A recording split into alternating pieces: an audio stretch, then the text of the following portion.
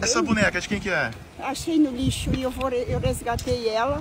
E eu, depois que tudo passar, eu quero botar no Face para devolver para a criança que, que perdeu. Eu sei onde é que estava a casa. Então, eu passei, me deu uma dor muito grande. Resolveu resgatar a boneca? Resolvi resgatar e assim que, que eu consegui botar no Face, eu, eu sei onde é que é a casa e eu vou tentar devolver para devolver para a dona. Olha, olha, gente, olha que linda essa boneca. Lá no lixo. Me deu uma dor de. Uma, então, para te ver como a gente é frágil, a gente não é nada.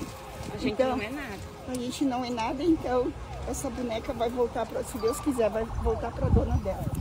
Então, ah.